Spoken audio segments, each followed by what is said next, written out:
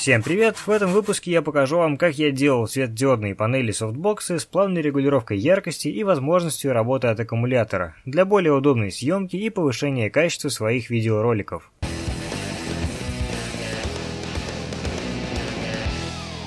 Если вы помните, моим предыдущим освещением были миски из нержавейки с энергосберегающими лампами внутри. Как мне писали в комментах, эти лампы очень плохи в качестве света для съемки, что у них бедный спектр и всякое такое. А еще они беспощадно мерцают на выдержке менее чем одна сотая секунды. Так что все это время я снимал в ручном режиме или с приоритетом выдержки. Да, еще электронный штангенциркуль люто упарывался от излучения этих ламп, и я не мог им работать. Когда одна лампа перегорела, а вторая разбилась после эпичного падения, я понял, что настало время что-то изменить. Что я хочу от этого проекта? Будем делать светильник с большой площадью источника света, то есть он будет заодно выполнять функцию софтбокса и давать мягкие тени. Яркость должна плавно регулироваться. Питание будет как от розетки, так и от аккумулятора. Надоело с этими проводами бегать ради съемки одной сцены. Конструкция должна быть максимально компактной и, например, вмещаться в рюкзак. Также нужны различные крепления с возможностью поворота по двум осям и еще с бацаем самодельный штатив. И самое главное условие – все компоненты должны быть максимально доступны, чтобы мою идею мог повторить кто угодно. Это означает, что закупаться будем на Алиэкспрессе и в магазине стройматериалов. Ну, поехали. Светодиодную панель я вижу как светодиодную ленту, наклеенную на плоское основание – Светодиод является одним из самых энергоэффективных источников света, но все равно он довольно ощутимо греется, а при сильном нагреве светодиоды деградируют и срок их службы сокращается, поэтому в качестве основания я использую лист алюминия, купленный в стройматериалах. Алюминий очень хорошо проводит и отводит тепло. Это довольно-таки дорогое удовольствие, но если делать, то делать хорошо. Если наклеить ленту на фанеру или пластик, то она проживет намного меньше, так как будет перегреваться. Еще одним источником алюминия может стать большая бабушкина кастрюля, ловко разрезанная вот так вот и вот так вот, а затем развернутая в лист. Если у вас с алюминием совсем туго, то можно попробовать разогнуть в лист обычное ведро из оцинковки, но я не очень уверен в этом способе. Светодиодная лента куплена, естественно, у китайцев, потому что дешево. Цвет ленты просто белый, не дневной и не холодный. Я оставлю ссылку на свою ленту, но помните, что у китайцев можно найти очень много разновидностей этих лент. Ультраяркие, цветные, ультрафиолетовые, защищенные от воды, программируемые, в общем, тысячи их. Главное не нарваться на ленты низкого качества. Кстати, чтобы искать товары от продавцов с хорошей репутацией и находить максимально выгодные предложения, советую использовать приложение AliTools. Оно дает расширенную информацию о продавце на основе отзывов, а также другую полезную информацию вплоть до графика изменения цен и автоматического поиска видеообзоров на данный товар. Также вы узнаете стратегически важную информацию о продавце и реальную информацию о товаре, уровень доверия от покупателей и основные подозрительные недостатки этого магазина. В общем, шоптесь при помощи AliTools, покупайте у хороших продавцов и AliExpress вас никогда не разочарует. Скачать AliTools можно в магазине расширений Google Хромова. Ссылки на все китайское барахло для своих панелей я оформил у себя на сайте, так будет удобнее для всех. Для питания ленты понадобится блок питания на 12 вольт. Вот здесь давайте остановимся чуть подробнее. Каждая лента имеет такой показатель, как мощность на метр, то есть ватт на метр. Обычно погонная мощность указана на странице товара на Алиэкспрессе. Для всех остальных случаев есть вот такая табличка. Тут мы видим тип светодиодов и их число на 1 метр. Зная тип и длину ленты, можно найти потребляемую мощность, просто перемножив погонную мощность на необходимую вам длину ленты. Я буду делать две панели по 2,5 метра ленты на каждую. То есть использую без остатка всю 5-метровую катушку, которую по стандарту отсылают китайцы. Моя лента имеет 60 светодиодов типа 50-50 на 1 метр. По таблице это 14 Вт на метр. На 2,5 метра получаем 35 Вт. Мощность делим на напряжение питания ленты 12 вольт и получаем ток почти 3 ампера. Ищем. Блок питания 12 вольт 3 ампера будет работать на пределе своих возможностей и нагреваться, поэтому лучше взять на 1 ампер побольше. Я взял на 3 ампера, чтобы показать вам, что слова о нагреве были не просто так. Для простого удобного подключения ленты к блоку питания напрямую можно использовать вот такой вот разъем, но я хочу управлять яркостью, поэтому взял вот такой вот самый дешевый диммер. К тому, что он самый дешевый, мы вернемся чуть позже. Еще могут пригодиться вот такие вот кнопочки. Для работы от аккумулятора нужны аккумуляторы, например, трехбаночный литий-полимерный аккумулятор от радиоуправляемых моделей, либо вот такая вот самодельная сборка из аккумуляторов формата 18650 из моего выпуска номер 78. Для удобного подключения пригодится разъем XT60. Также можно просто взять три литиевых аккумулятора 18650 и засунуть их в холдер. Все узлы и крепления я буду делать из полипропиленовых труб и фитингов. Начинаем сборку. Большая панель будет сделана из листа алюминия размером 20 на 30 см. Отпиливаем и обрабатываем края.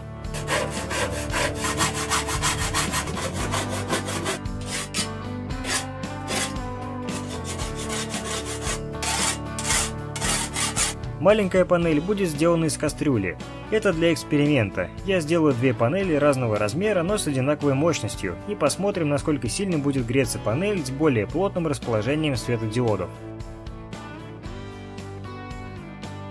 Светодиодами я равномерно заполню всю поверхность, оставив снизу 5 см для технических нужд, крепления, крепления, диммера и прочего. Ленту нарезаю на кусочки по 25 см. Обезжириваем поверхность панели я решил наклеить две полоски изоленты там, где у ленты будут свежеотрезанные контакты.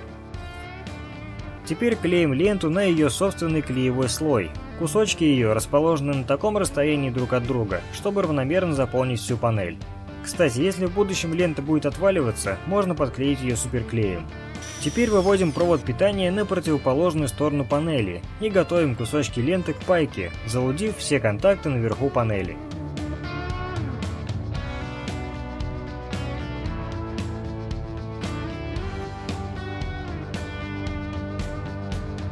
Для пайки лент разной мощности желательно использовать соответствующий провод, но это уже на ваше усмотрение. Одним проводом аккуратно соединяем все плюсы лент, а затем другим проводом все минусы. Таким образом, все кусочки ленты будут подключены параллельно, и одна из лент подводит ко всем остальным ток. Это та самая, которую мы засунули в дырку.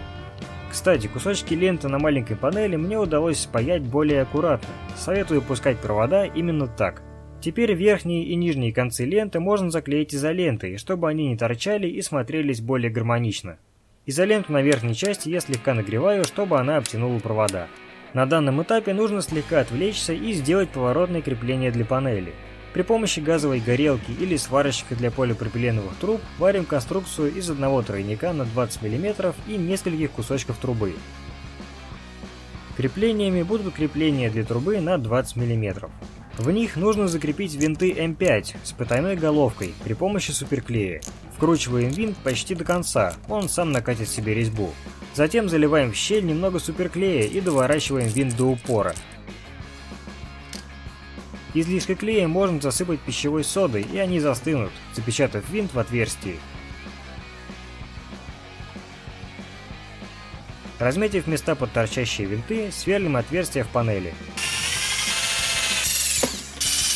Панель будет притягиваться к креплению при помощи гаек-барашков М5. Кстати, чтобы крепления лучше держали, можно приклеить вовнутрь небольшую полоску мелкой наждачки, тоже на суперклей. За совет большое спасибо человеку из комментариев под видео про старый свет.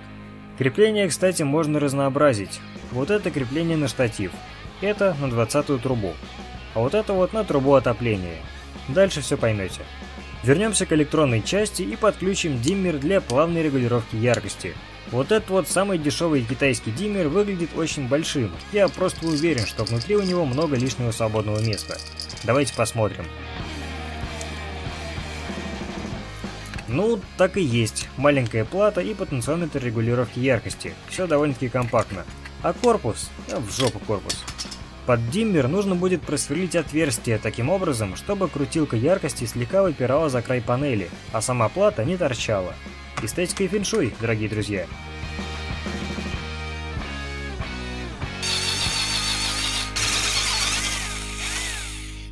Можно уменьшить толщину диммера, выпаив крепление потенциометра из платы.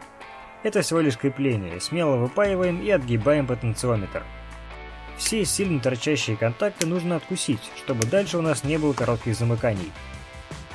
У диммера есть папа-штекер и мама-штекер. Вот с папы питается лента, а на маму подается питание с блока питания.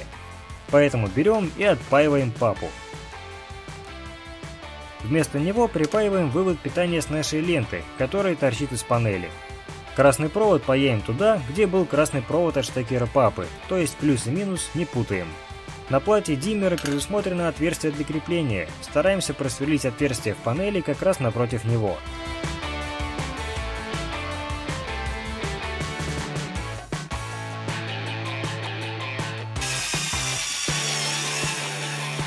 Плату заклеиваем кусочком изоленты, чтобы изолировать ее от панели. Крепим на винтик и гайку.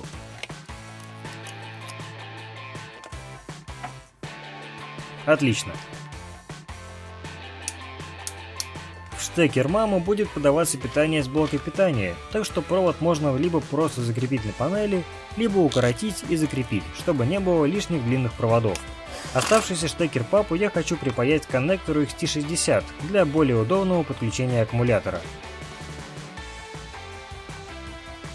Подключаем питание и пробуем включить панель. Опа-на! Дешевый китайский диммер очень сильно мерцает при съемке на камеру. По крайней мере на низких уровнях яркости. Примерно от 85% яркости и выше мерцание отсутствует. Но зато в потенциометр встроен выключатель. В качестве обычной лампы такую панель использовать можно, а вот снимать видео можно только на максимальной яркости. Ну что ж, грустно? Так, давайте потыкаем камеру. На выдержке 1 сотая мерцание очень сильно заметно. Попробуем слегка уменьшить.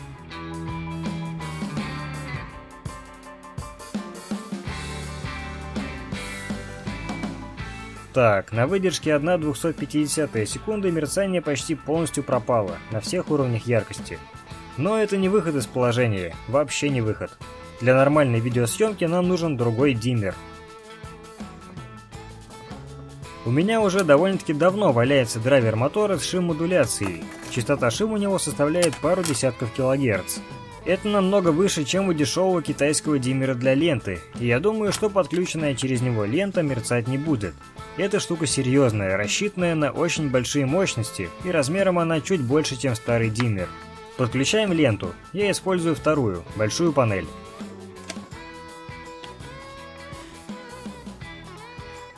Замечательно, мерцания нет вообще, даже на самом низком уровне яркости. Единственный минус – здесь нет выключателя, придется его добавить. А так лента продолжает светиться на минимальном режиме. Кстати, есть еще парочка недорогих шим-драйверов. Я их уже себе заказал, и как только они придут, я их протестирую и добавлю на сайт информацию о том, мерцают они на камеру или нет. Кто заинтересован, следите за обновлениями. Аккуратненько между полосками наклеенной ленты размещаем отверстие под крепление диммера. Откусываем все торчащие хвостики. Просверлив отверстие, крепим диммер на панель. Так как встроенного выключателя нет, придется переделывать свой. Размечаем на панели отверстия под него и под регулятор яркости.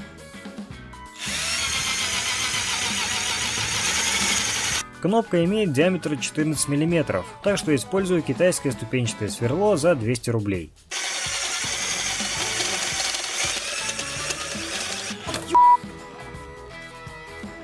Кнопка имеет бортик, который я обычно срезаю скальпелем. Вставляем кнопку и потенциометр.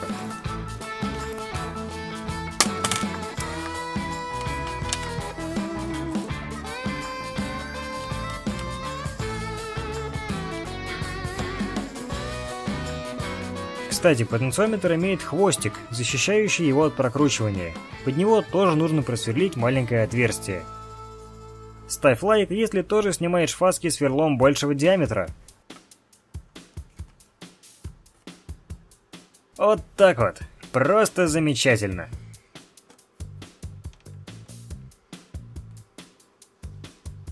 Кнопка, кстати, ставится в разрыв провода на вход в диммер. Как я уже говорил, будет возможность работы от аккумуляторов, поэтому сделаю удобное их крепление при помощи обычной липучки.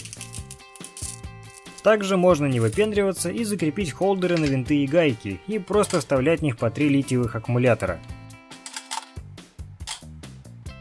К своим аккумуляторным сборкам я приклеиваю одну половинку липучки, а к панелям вторую.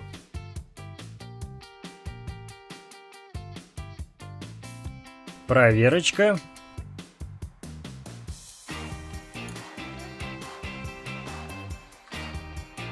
Супер! Камера просто в шоке от такого света. Да и я чуть немного ослеп. Все-таки светодиоды в 7,5 раз эффективнее ламп накаливания. Сейчас у меня на столе, грубо говоря, 5 100 ваттных ламп накаливания. Здорово, можно ночью на улице снимать. Панель работает как софтбокс, то есть дает большой ровный поток света, поэтому тени от предметов практически отсутствуют. В отражениях видно кучу мелких лампочек, а также остатки тени выглядят очень рваными и состоящими из маленьких кусочков. Чтобы от этого избавиться, можно сделать рассеиватель, как у настоящего софтбокса. Понадобится тонкая белая ткань, винты, шайбы и гайки. Крепим 4 винта по углам панели. Теперь вырезаем из ткани прямоугольник и в один его угол на суперклее клеим две шайбы.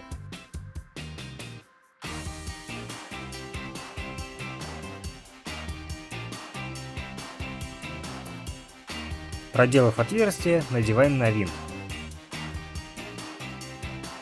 Натянув ткань, отмечаем место следующего крепления. Клеим шайбы, делаем отверстие. И так еще два раза. Получается съемный рассеиватель.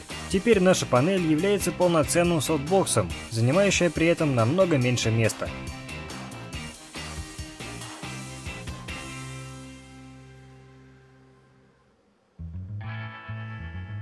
Еще я сделал небольшой штатив из стройматериалов. Если вам интересно как, могу смонтировать видео. В этот выпуск уже не влезает, и так длинный получился.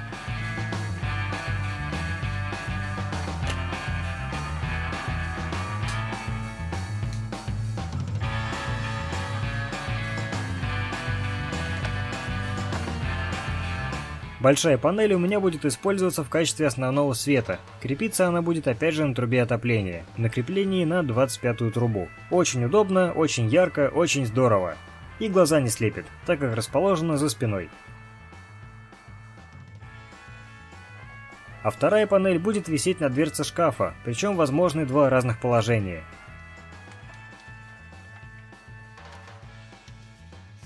Свободно вращается по двум осям либо она будет стоять на штативе у меня за правым плечом.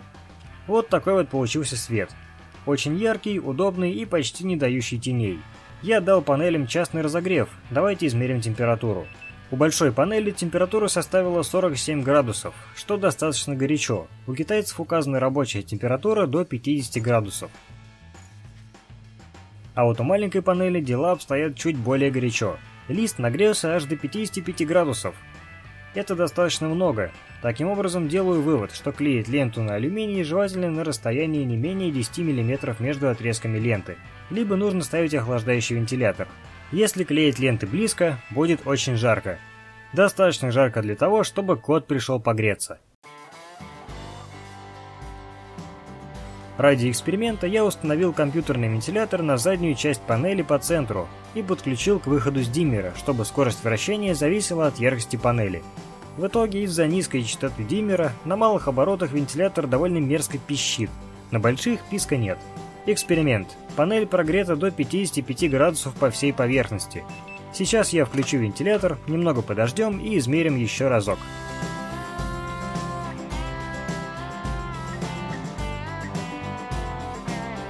Минут через 10 панель остыла аж на 15 градусов, и температура не выходит за пределы рекомендованной китайцами. Отлично, значит одного вентилятора хватает, даже без радиаторов. А вот на хорошем диммере вентилятор даже пищать не будет, что является просто идеальной системой охлаждения. А вот блок питания, выбранный впритык к потоку, тоже нагревается очень сильно. Не делайте так, при такой эксплуатации он тоже проживет меньше положенного. Лучше взять на 1 ампер помощнее – Итак, что мы теперь умеем? Рассчитывать мощность ленты и нужный для нее блок питания. Знаем, что дешевые диммеры мерцают при съемке на видеокамеру, то есть в качестве обычного света они подходят, а для студийного нет. Еще знаем, что можно запитать довольно мощную панель от трех литиевых аккумуляторов, и знаем, как бороться с нагревом. Использовать большую площадь панели, либо ставить вентилятор. Все это – замечательные компактные беспроводные софтбоксы, которые помогут мне, а может быть и вам, поднять качество своих видеороликов. 35-ваттная панель светит достаточно ярко, я бы даже сказал, что слегка переборщил. У меня ведь их две. Ну и хорошо, для высокоскоростной съемки много света не бывает. Кстати, я почти закончил свой стенд для скоростной съемки, возможно сниму про него видео. а также почти готово видео про новую версию уже вошедшей в историю скорострельной винтовки ГГ-1, версия ГГ-1.2. Ждем! Что ж, спасибо за внимание! С вами был Алекс Гайвер, всем пока!